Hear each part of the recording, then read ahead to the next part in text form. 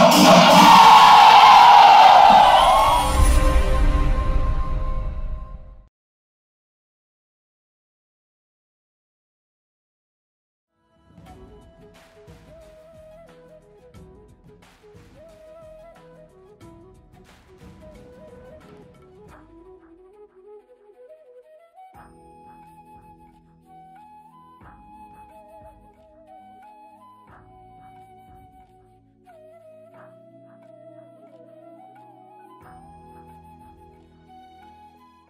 നമസ്കാരം ശശിയേട്ട. നമസ്കാരം നമസ്കാരം നമസ്കാരം. അപ്പോൾ ഞങ്ങൾ ഉത്സവ കേരളം എന്ന് പറയുന്നത് ഒരു ചെറിയ യൂട്യൂബ് ചാനലാണ്. അപ്പം ഞങ്ങൾക്ക് ഉമയെപ്പറ്റി കൂടുതൽ വിശേഷങ്ങൾ പറയാനും അതുപോലെ ഇതിൽ ഇതിലൂടെ അത് പ്രേക്ഷകരിലോട്ട് എത്തിക്കാനും ഞങ്ങൾക്ക് ഇങ്ങനെ ഒരു അവസരം തന്നതിൽ ആദ്യം തന്നെ നിങ്ങളോട് രണ്ടുപേരോടും ഞങ്ങൾ നന്ദി അറിയിക്കുകയാണ്.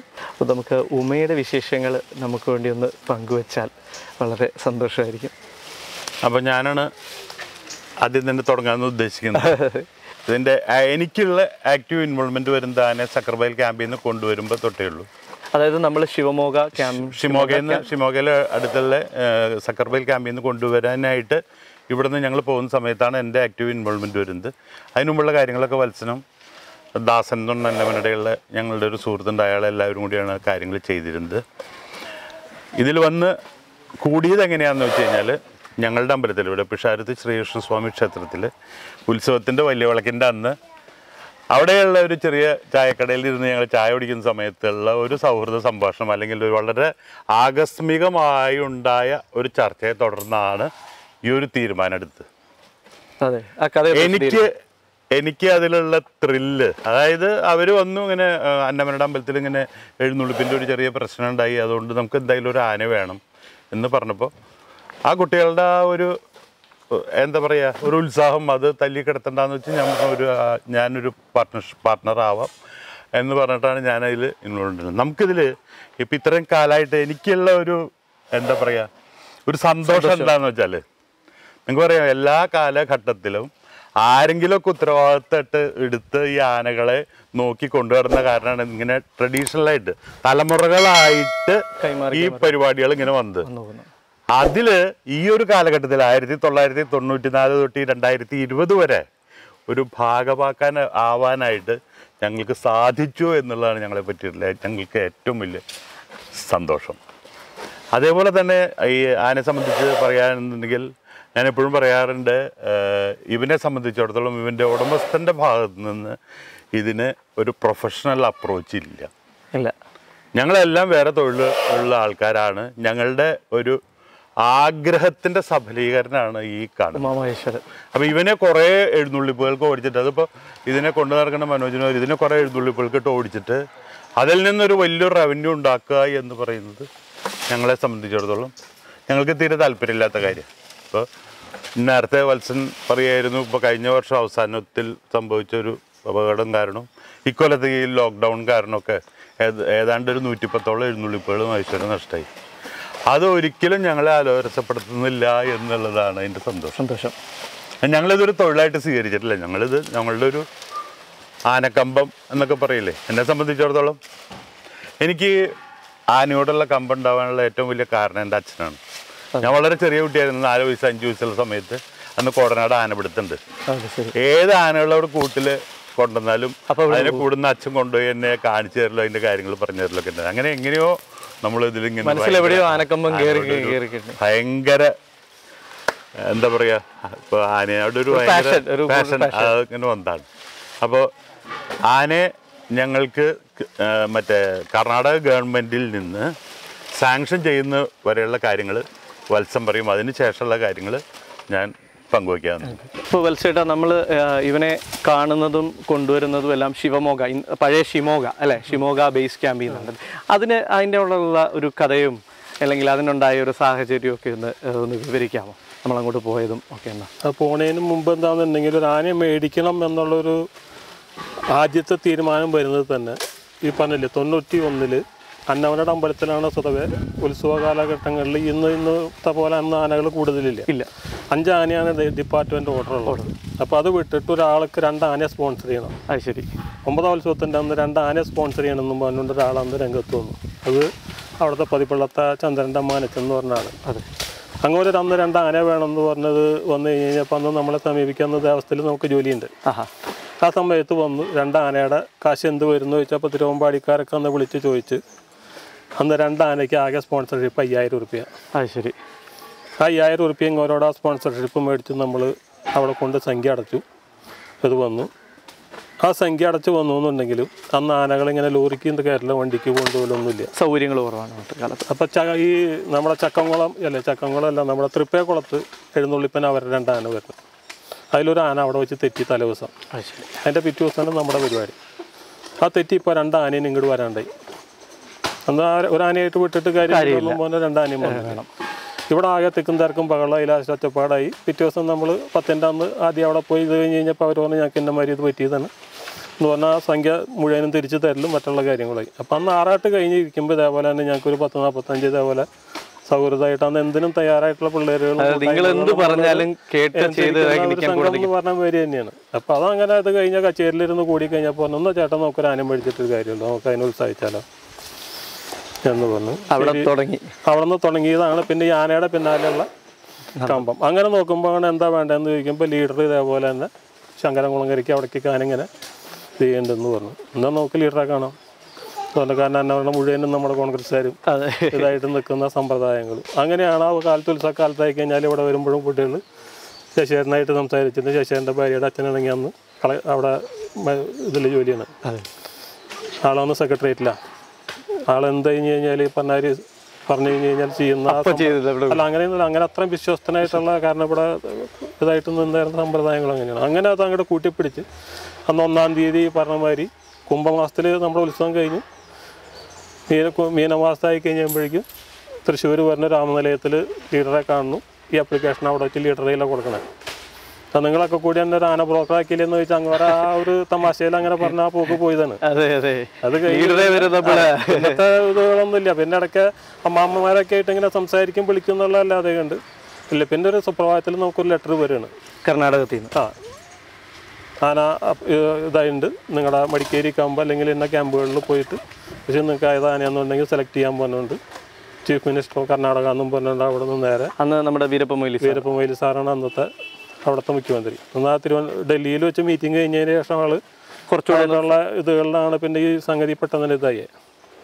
അപ്പം അതിൽ ശരിക്കും നമുക്ക് രണ്ടര കൊല്ലത്തോളം ഇതിന്റെ പിന്നിൽ കടന്നിട്ട് മത്സരിക്കേണ്ടി വന്നിട്ടുണ്ട്. കാരണം എന്താണെങ്കിൽ ഓരോ പോക്കുകൾ നമ്മൾ അങ്ങോട്ട് ചെല്ലും അവിടെ ചെല്ലുമ്പോൾ അത് ഇതൊന്നും പറഞ്ഞിട്ടുള്ള ഇതുകൾ പിന്നത്തെ ഒരു കടലാസ് ശരിയാക്കാൻ നമുക്ക് ഇവിടുന്ന് തിരുവനന്തപുരത്ത് പോകണം അവിടെ നിന്ന് ഇങ്ങനെ വരും. പിന്നെ അപ്പം എന്താണെങ്കിൽ അന്ന് ഇതിന്റെ ഇതിൽ ടി. യു രാധാകൃഷ്ണനും ഇതൊക്കെ ആയിട്ട് ഡിപ്പാ തിരുവനന്തപുരം ഇതൊക്കെ ആയിട്ട് നല്ല അടുപ്പമുള്ളതുകൊണ്ട് അടുപ്പമുള്ളതുകൊണ്ട് ഇങ്ങോരായിട്ട് വന്നു. ലാസ്റ്റ് ആ സാധനത്തിന് ആദ്യത്തെ ഒരു ഇരുപത്തയ്യായിരം റുപ്യ അഡ്വാൻസ് കൊടുത്തു. അടച്ചതിന് ശേഷമാണ് നമ്മളിത് പുറത്തേക്ക് വിട്ടുള്ളൂ. കാരണം ഈ ആന കൊടുക്കില്ല എന്നുള്ളതായിരുന്നു അവിടുത്തെ അത് ശരി. എല്ലാവരുടെയും ആദ്യത്തെ ഒരു ഇതേ. അത് ശരി. കാരണം തൃശ്ശൂർ ഭാഗത്തൊന്നും എല്ലാവരും പോയി നോക്കി നിന്നായിരുന്ന ഒരു ആനയാണ് ഓ.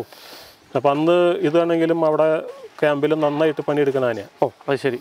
അപ്പം ഇനി അവിടെ നിന്ന് ആരെ കൊടുക്കാനില്ല എന്നുള്ളൊരു സാങ്ഷനിൽ നിൽക്കുന്ന സമയത്താണ് നമ്മുടെ അപ്പോൾ അത് അങ്ങനെ വന്ന് വന്ന് ലാസ്റ്റ് എന്താണെന്നുണ്ടെങ്കിൽ ഈ ആന നീരുകാലം തുടങ്ങി കഴിഞ്ഞ് കഴിഞ്ഞപ്പോൾ ആന അക്രമാസക്തമാവണോ അല്ലെങ്കിൽ അവിടെ പറ്റില്ല എന്നും പറഞ്ഞു അതായത് അവരെ കൊണ്ട് കൈകാര്യം അവിടുത്തെ ഡോക്ടറുടെ സർട്ടിഫിക്കറ്റുമാണ് ഈ ആന സെയിലിലേക്ക് വരുന്നത്.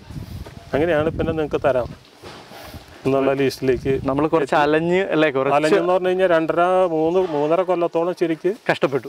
തൊണ്ണൂറ്റി ഒന്നിൽ തുടങ്ങിയ നമ്മുടെ പ്രയത്നം തൊണ്ണൂറ്റി നാല് ലാസ്റ്റിലേക്കാണ് തീരുന്നത്. ആനെ കൊണ്ടുവരാൻ പറ്റുന്നത്. കൊണ്ടുവരാൻ പറ്റുന്നത്. അത് തന്നെ അവിടെ ചെന്ന് നിന്നത് കഴിയുമ്പോൾ ലാസ്റ്റ് ഇവിടേക്ക് പറഞ്ഞ ഒരു എൻ ഒ സി വേണം എന്ന് പറഞ്ഞ് ലാസ്റ്റ് ഞങ്ങളെല്ലാവരും അവിടെ വോൾട്ട് ചെയ്ത് അവിടെ നിന്ന് അവിടെ നിന്ന് ലാസ്റ്റ് അവിടെ നിന്ന് ഞങ്ങൾ അവിടെ നിന്ന് അവിടെ നിന്ന് രണ്ടാളെ ഇങ്ങോട്ട് പറഞ്ഞയച്ച് ഇവിടെ നിന്ന് ആദ്യം തിരുവനന്തപുരത്തേക്ക് ആളെ വിട്ട് അവിടെ നിന്ന് നമ്മുടെ ചീഫ് വൈൽഡ് ലൈഫ് വാർഡന്റെ അടുത്ത് നിന്ന് എൻ ഒ സി മേടിച്ച് ഇതൊക്കെ കൂടി കഴിഞ്ഞിട്ടാണ് ശരിക്കും ഒരു ആന പ്രയത്നം തന്നെ വേണ്ടി വന്നല്ലേ പ്രയത്നം തന്നെ എന്ന് പറഞ്ഞു കഴിഞ്ഞാൽ അത്രയും ദിവസം നമുക്ക് അവിടെ നമ്മൾ ബാംഗ്ലൂർ അല്ല ഷിമോഗ ഷിമോഗയിൽ ക്യാമ്പ് അതെ.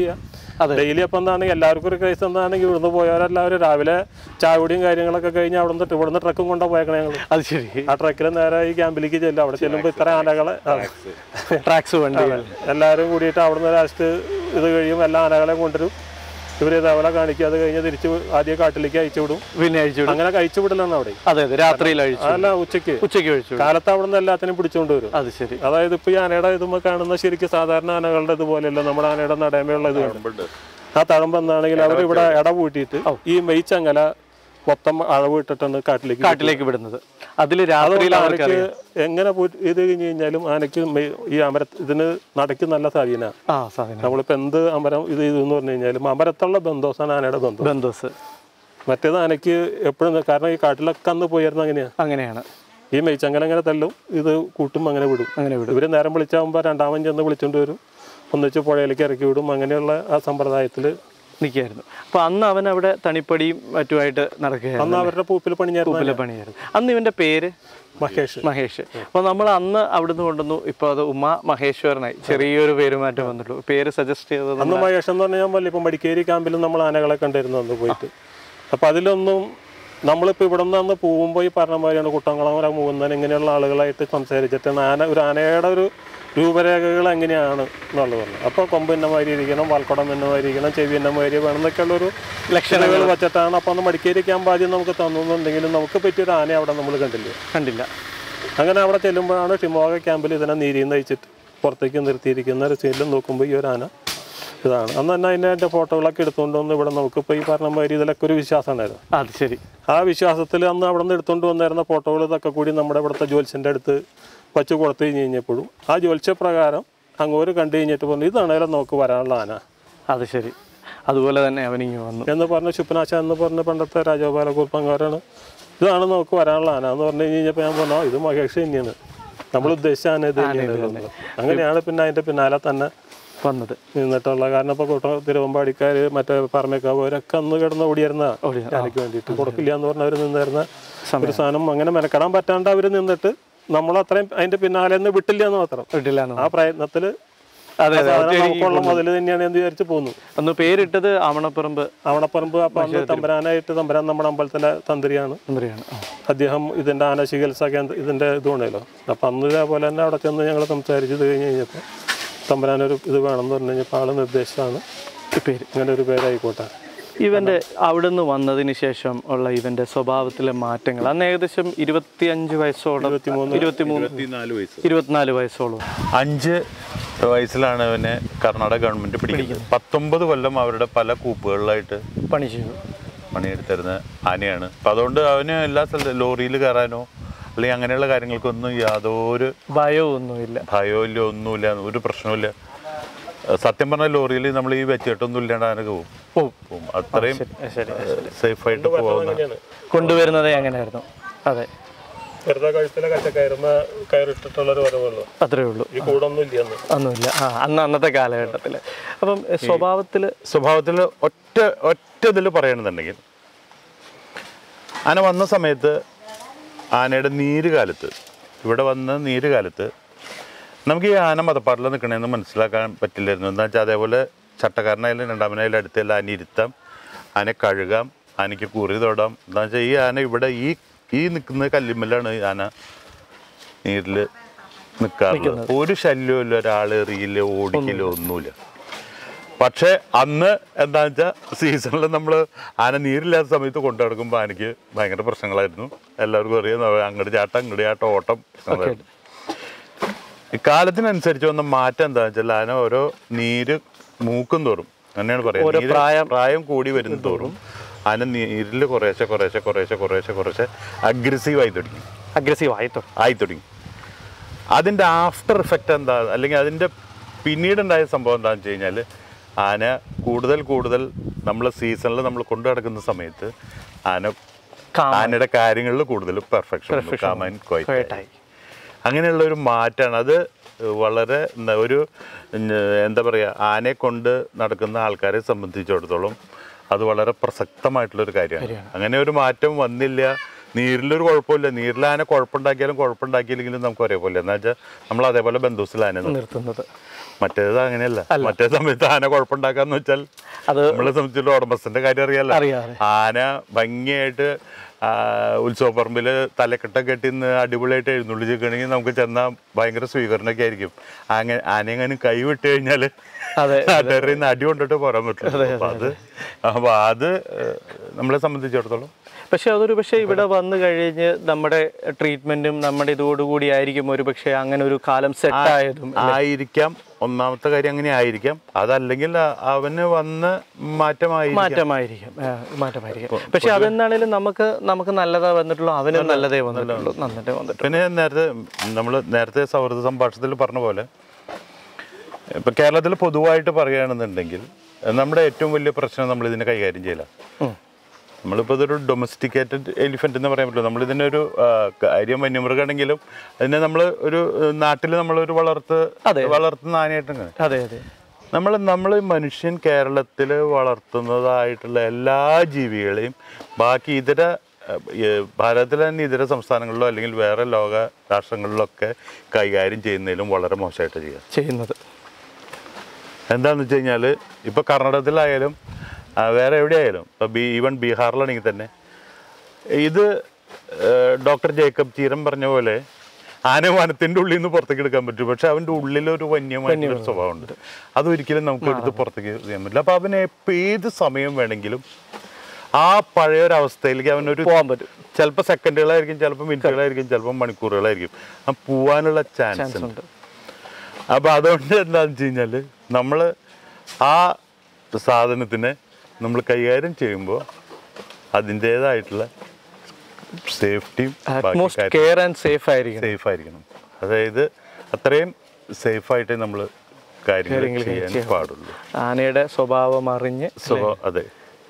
അപ്പോൾ ഇതിന്റെ എന്താണെന്ന് വെച്ച് കഴിഞ്ഞാൽ നമുക്കപ്പോൾ ഈ ഈ വന്യമായിട്ടുള്ള അതിന് ആ സ്വഭാവമുള്ള കാരണം നമ്മളിപ്പോൾ ഈ കേരളത്തിൽ കൊണ്ടുവന്നു കഴിഞ്ഞാൽ പിന്നെ ഇരുപത്തിനാല് മണിക്കൂർ. അത് അമരം കെട്ടി നമ്മൾ നടവാറാക്കി അവനെ അങ്ങോട്ട് ഇങ്ങോട്ട് തിരിയാൻ പറ്റാത്ത വിധത്തിലാണ് നമ്മൾ നിർത്തുന്നത്. ആ സമയത്ത് ബാക്കി സംസ്ഥാനങ്ങളിൽ ഇപ്പോൾ കർണാടകത്തിൽ നേരത്തെ വത്സം പറഞ്ഞു രണ്ട് മണിക്കൂറേ മനുഷ്യന്റെ കസ്റ്റഡിയിലേക്കുള്ളൂ അത് കഴിഞ്ഞ് അവന് വിടുകയാണ്. അതിന് പോയി മണ്ണ് കുത്തനി മണ്ണ് കുത്തൻ വെള്ളത്തിൽ ഇറങ്ങാം.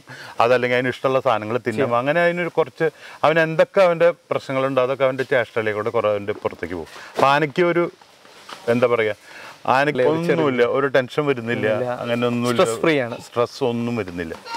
അപ്പോൾ ആ ഒരു കാര്യമാണ്. ഈ സാഹചര്യങ്ങളിൽ നമ്മുടെ ചില ആചാരങ്ങളും നമ്മുടെ അനുഷ്ഠാനങ്ങളും നിലനിർത്തുന്നതിൽ ഇതേ സാഹചര്യങ്ങൾ ഉൾക്കൊള്ളുകൊണ്ട് അല്ലെങ്കിൽ നമ്മുടെ ഈ പരിമിതികളിൽ ഒതുങ്ങി നിന്നുകൊണ്ട് തന്നെ നമുക്ക് ഇവരെ കൊണ്ട് നടക്കാനുള്ളൊരു സംവിധാനം ഉണ്ടാകണം അതിന് ഒരു പോസിറ്റീവായിട്ടുള്ള അപ്രോച്ച് പറയണതിൽ എനിക്ക് സങ്കടമുണ്ട് അതിന് പോസിറ്റീവായിട്ടുള്ള ഒരു അപ്രോച്ച് നമ്മുടെ ഇന്ന് ആന ഭ്രാന്തന്മാരെന്നോ അല്ലെങ്കിൽ ആനപ്രേമികളെന്നോ ഒക്കെ പറഞ്ഞ് നടക്കുന്ന ഒരു കൂട്ടം ചെറുപ്പക്കാരോ അല്ലെങ്കിൽ അങ്ങനെയുള്ള ഒരു ഗ്രൂപ്പിന്റെ ഒഴിച്ച് വേറെ ഒരാളുടെ ഭാഗത്തുനിന്നില്ല എന്നുള്ളത്? അതാണ് സത്യം. എവിടെയാണ് ഉടമസ്ഥന്റെ ഭാഗത്തു നിന്നൊരു പാകപ്പഴ വരുന്നത്? എവിടെയാണ് ആനക്കാരന്റെ ഭാഗത്തു നിന്നൊരു പാകപ്പഴ വരുന്നത് എന്ന് നോക്കി നടന്ന് ഇന്നത്തെ ഇത്രയും ഈ ന്യൂ ജനറേഷൻ മാധ്യമങ്ങളും അതും ഇതൊക്കെ ഉള്ളപ്പോൾ അതൊക്കെ പർവതീകരിച്ച് ഇതിനെ ഭയങ്കരമായിട്ട് ടാർഗറ്റ് ചെയ്യുന്ന രീതിയിലുള്ള ഒരു അതെ പ്രകാരമാണ് പറയുന്നത് അതിന്റെ ഒന്നാമത്തെ ഇത് എന്താണെന്നുണ്ടെങ്കിൽ ഒന്ന് ഇപ്പൊ ഞാൻ പറഞ്ഞില്ലേ ഞങ്ങൾക്ക് അതിന്റെ ടെൻഷൻ ഇല്ല എന്ന് പറഞ്ഞാൽ നമ്മളാരും ഇതിന്റെ ലാഭം നോക്കിയിട്ട് നിൽക്കുന്നു നിൽക്കുന്നില്ല. ഇവിടെ ഇവിടെ സംഭവിച്ചേക്കണ എന്താ? പരമാവധി ഇപ്പോൾ തൊണ്ണൂറ് ശതമാനം അല്ലെങ്കിൽ എൺപത്തഞ്ച് ശതമാനം വരുന്ന ഉടമസ്ഥന്മാർ മുഴുവനും ആനകളെ ഓരോരുത്തർക്ക് അങ്ങോട്ട് പാട്ടത്തിന് കൊടുക്കുക വലിയ റെന്റിന് കൊടുത്തു മറ്റുള്ളവനും കൊടുത്തു ഇവരെല്ലാ സ്ഥലം വിട്ടു. അപ്പൊ ഇവനെന്താണെന്നുണ്ടെങ്കിൽ ആ കാശ് ഉണ്ടാക്കാനുള്ള ഭദ്രപ്പാണ്. അപ്പൊ ഞാനിപ്പോ ഒരു എഴുന്നള്ളിപ്പ് കൊടുത്തു അല്ലെങ്കിൽ എന്റെ ആന ഒരു എഴുന്നള്ളിപ്പിന് പറഞ്ഞു വിടുമ്പോൾ ആ ആനയ്ക്കും ആനക്കാരനും റെസ്റ്റ് ഇല്ല. അങ്ങനെയുള്ള ഒരു പരിപാടികൾ ഇനിയിപ്പോ ലക്ഷം തരാമെന്ന് പറഞ്ഞാലും നമ്മൾ എടുക്കാറില്ല അതിന്റെ റെസ്റ്റും അതിന്റെ പാപ്പാന്റെ അല്ലെങ്കിൽ അതിനുള്ള റെസ്റ്റ് പരിപാടികളാണ് നമ്മൾ പോകുന്നുള്ളൂ പക്ഷെ മറ്റുള്ളവർ അത് ചിന്തിക്കണമെങ്കിൽ ഈ അപകടങ്ങൾ കുറെ ഒഴിവാക്കാം. ആനയ്ക്ക് പറ്റുന്നതാണോ നമ്മൾ ആദ്യം ആലോചിക്കേണ്ടത്. അതെ അതെ. അതിന് അതിന് പകരം ഇപ്പോഴത്തെ സമീപനം എങ്ങനെയാ? ഇപ്പൊ ഞങ്ങൾക്ക് ഇതിനോട് ഭയങ്കര ഞങ്ങളുടെ ബിസിനസ് ആണ് അല്ലെങ്കിൽ ഞങ്ങളുടെ പ്രൊഫഷനാണ് ഇതിന് പൈസ ഉണ്ടാക്കണം എന്ന് പറഞ്ഞു കഴിഞ്ഞാൽ എന്താ ചെയ്യുക? അപ്പം ഞങ്ങൾ മനോജിനെ നിർബന്ധിക്കും. മനോജേ ആ പരിപാടി എടുക്കാം. മനോജ് ഒരു കോളാണ്. എനിക്ക് കോൾ തുടങ്ങാറായിട്ടുണ്ട് നമ്മൾ പോയാൽ പ്രശ്നമാവും അത് നോക്കണ്ട. പോയി ആ പരിപാടി എടുക്കുക എന്ന് പറഞ്ഞാൽ മനോജ് അത് പറ്റില്ല ചേട്ടാ. എന്നാൽ വേറെ ആരെങ്കിലും എന്നാൽ ഇപ്പോഴത്തെ ഉടമസ്ഥന്മാരുടെ പരിപാടി അപ്പോൾ വേറെ ആളെ കൊണ്ട് അഴിപ്പിച്ച് ആനെ കൊണ്ട് ഈ പരിപാടി എടുക്കലാണ്. ഞാൻ പറഞ്ഞത്. എന്താ വെച്ചാൽ കഴിഞ്ഞ സീസണിൽ മനോജൻ അങ്ങനെ ഒരു അബദ്ധം വന്നത് കഴിഞ്ഞ് നമ്മുടെ വേറെ ആന കുത്തി ശരിക്കും പറഞ്ഞു കഴിഞ്ഞു കഴിഞ്ഞാൽ ഇതേപോലെ പട്ടത്തിനോട് തൊക്കണവരാണെന്നുണ്ടെങ്കിൽ അപ്പൊ ആനക്കാരനെ മാറ്റി ആ, ആരെങ്കിലും. വെച്ച് നമ്മുടെ മുതൽ നമ്മൾ ആ പരിപാടിയില്ല. അല്ലെങ്കിൽ വേറൊരു കൊട്ടുകൂട്ടി പരിപാടിയില്ല. അതായത് നിന്നോട്ടെ എന്ന് വെച്ചിട്ട് തന്നെ നമ്മൾ നിന്നായിരുന്നു. മറ്റവരാണെങ്കിൽ അതല്ല ചെയ്യാം. അപ്പൊ ആളെ മാറ്റി ആ പുതിയൊരാളെ കാശുകൾ എങ്ങനെ ഉണ്ടാക്കാൻ പറ്റുക എന്നുള്ളതാണ് അവർ നോക്കുന്നത്. എപ്രകാ ഞാൻ ഒരു ആ- നാട്ടാനും ആവണത് അവന്റെ ഭാഗ്യം ഞാൻ പറയില്ല. അവന്റെ കഷ്ടകാലമാണ്. പക്ഷെ എന്നിരുന്നാലും അങ്ങനെ ഒരു കഷ്ടകാലത്തിൽ കൂടെ പോരുന്ന ആനയ്ക്ക് കിട്ടാവുന്നതിൽ നല്ലൊരു സൗകര്യമാണ് ഞങ്ങളെ പോലെയുള്ള ഉടമസ്ഥന്മാരെ ഞങ്ങൾക്ക് എപ്പോഴും ഞങ്ങൾക്ക് ഇത് ഞങ്ങളുടെ ഒരു മഹാഭാഗ്യം എന്നുള്ള രീതിയിലാണ് ഞങ്ങളുടെ അപ്രോച്ച് അവനെ സംബന്ധിച്ചും അങ്ങനെ തന്നെയാണ്. എന്താ കാരണം വെച്ചാൽ അവന്റെ കാര്യങ്ങൾ കഴിഞ്ഞിട്ടുള്ള കാര്യം തന്നെ നമുക്കുള്ളൂ. എന്തൊക്കെയാ തന്നെ ആയാലും ആനയെ ബുദ്ധിമുട്ടിച്ചിട്ടുള്ള ഒരു കാര്യം. ഞങ്ങൾ ഒന്നും പണിക്കൊന്നും ആന വിടുന്നില്ല. ഒന്നും ചെയ്യുന്നില്ല. അവന്റെ കാര്യങ്ങൾ കഴിഞ്ഞിട്ടുള്ള കാര്യങ്ങൾ അവന്റെ ഒരു രണ്ടാം വീട് തന്നെയാണല്ലേ? അല്ലെങ്കിൽ അവന് അവിടെ കിട്ടിക്കൊണ്ടിരുന്ന എല്ലാം കൊടുക്കാൻ നമ്മളും ബാധ്യസ്ഥനാണ്. നമ്മൾ അവനെ ഇത് ചെയ്യുമ്പോൾ അവനെ ഏറ്റെടുക്കുമ്പോൾ അത് കൊടുക്കാൻ നമ്മളും ബാധ്യസ്ഥനാണ്. അപ്പോൾ അത് നിങ്ങളത് വളരെ നന്നായിട്ട് കൊടുക്കുന്നുണ്ടെന്ന് പറഞ്ഞാൽ ഞങ്ങൾക്കും വളരെ സന്തോഷമുണ്ട്. മഹേശ്വരൻ അങ്ങനെ വളരെ എന്താ പറയുക എല്ലാവർക്കും പെട്ടെന്ന് കൊണ്ടു നടക്കാവുന്നതോ അല്ലെങ്കിൽ വളരെ എന്താ പറയുക അലക്ഷ്യമായിട്ട് കൊണ്ടു നടക്കാവുന്ന ഒരു ആനയല്ല. സൂക്ഷിക്കേണ്ട കാര്യങ്ങൾ സൂക്ഷിക്കും. എല്ലാവരെയും ഏതൊരു ആനക്കാരൻ വന്നാലും ഒരു ഉടമസ്ഥൻ വന്നാലും അതിന്റെ അടുത്ത് വരുന്ന ആൾക്കാരെ മുഴുവൻ അവരുടെ അളവും തൂക്കമൊക്കെ നോക്കുന്ന ഒരു ആനയത് അവന് എല്ലാ കാര്യവും അറിയാം. അവന് എവിടെ അവനെ ബന്ധോസ് ചെയ്യാൻ പറ്റാന്നറിയാം എവിടെ അവനെ കൊളത്താൻ പറ്റാന്നറിയാം എവിടെ വെച്ചാൽ അവന് പ്രശ്നങ്ങൾ ഉണ്ടാവുമെന്നൊക്കെ അവനറിയാനും മുൻകൂട്ടി കാണാനും ചെയ്യാനും കഴിവുള്ള ഒരു ആനയെ.